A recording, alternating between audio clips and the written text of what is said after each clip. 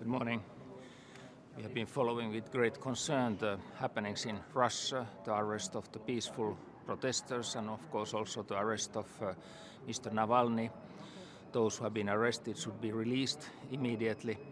It's very important that the ministers, foreign ministers today discuss also the poisoning of Mr. Navalny and what could be done to support the proper legal investigation of this case.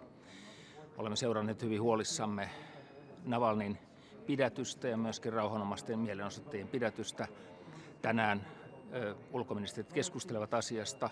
Tietenkin pidätetyt ihmiset tulisi vapauttaa ja on erittäin tärkeää, että Venäjä tutkii Navalnin myrkytyksen ja se, mitä tapahtui tämän kielletyn myrkyn käytössä häntä kohtaan. The High Representative has asked me to, uh, with his mandate, to visit the Horn of Africa, uh, Ethiopia particularly, after all the uh, happenings in Tigray and also the big refugee flow from uh, Ethiopia to Sudan.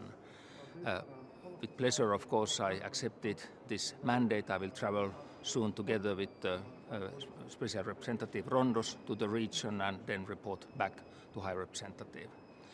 Olen saanut EUn korkealta edustajalta mandaatin vierailla lähiaikoina Etiopiassa ja Afrikan sarven alueella niiden tapahtumien jälkeen, joita on tapahtunut Tigraissa ja sen humanitaarisen kriisin jälkeen, joka on nähty pakolaisvirtana Etiopiasta myöskin Sudanin puolella. Tulen tämän matkan tekemään yhdessä EUn erityisedustajan Alex Rondosin kanssa ja sitten raportoimaan siitä korkealle edustajalle. Kiitos.